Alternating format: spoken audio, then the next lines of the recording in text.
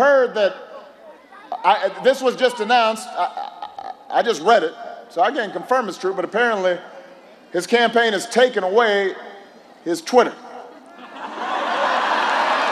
In the, in the last two days, they, they had so little confidence in his self control, they said, We're just going to take away your Twitter.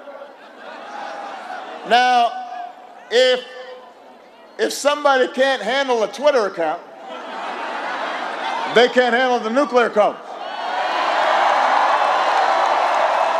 If somebody starts tweeting at three in the morning because SNL made fun of you, then you can't handle the nuclear codes.